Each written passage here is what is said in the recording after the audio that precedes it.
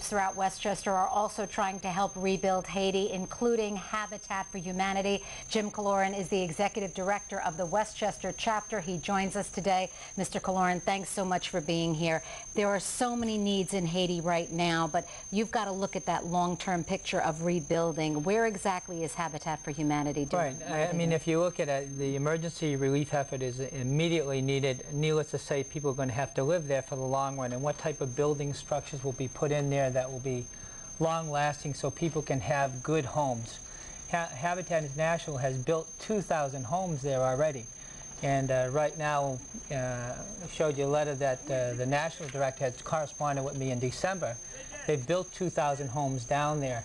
Uh, the international efforts on our part are to do cleanup, salvage existing materials that can be reused, look at uh, creating good shelters now, uh, transitional shelters, and then look at the long term, what can be done to build uh, good homes that are earthquake proof. If you look at San Francisco, you look at Japan, there are ways that that uh, had, uh, there's been no code in Haiti. Mm -hmm. And, and Habitats of Haiti has been building strong homes, just like a lot of the homes in New Orleans lasted through, through Katrina.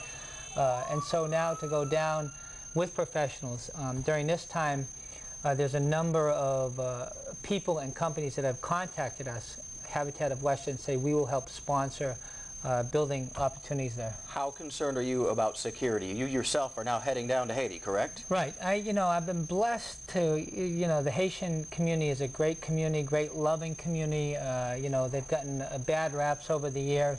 Uh, I'm going to be going down within a week to 10 days, depending upon how large a uh, aircraft we have to go down and what relief supplies we can go. One of my board members, Claudio Phillips, is going to go down with me some missionaries from the area, one who I talked to last night, who crossed over this border this, uh, this morning and texted me from Haiti this morning. Um, I speak some French and Creole, had worked with the Haitian community in, in, New Jersey about 20 years ago. And in New Rochelle, there's a large Haitian community that the last three nights we've prayed together.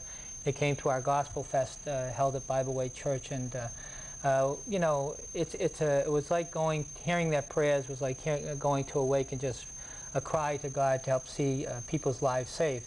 We'll be going down assessing how we can create a volunteer village and create a long-term partnership from Habitat of Westchester to Habitat of Haiti. The immediate need then, Jim, is to provide housing for the basically the relief efforts, the people who are there right, now. Right, in other words, create a volunteer village so that we can go down and follow, as well as help the existing people who are in there, what homes are damaged, and see what we can do to help them. Everybody needs mm. a place to stay, and it's certainly uh, an awful lot of work ahead. Jim Killorin, Habitat for Humanity, best of luck on your trip. And we'll be talking to you. We'll be talking to you. Thank you, sir. Now, if you'd like to help with the relief efforts in Haiti, click on the numbers and links section of our website at news12.com. You can find information on groups like Habitat for Humanity, the Red Cross, and a whole lot more there. And we want you to stay with News 12 for continuing coverage of the earthquake in Haiti, the relief efforts here at home, and of course the search for survivors. We'll have all the latest developments for you as they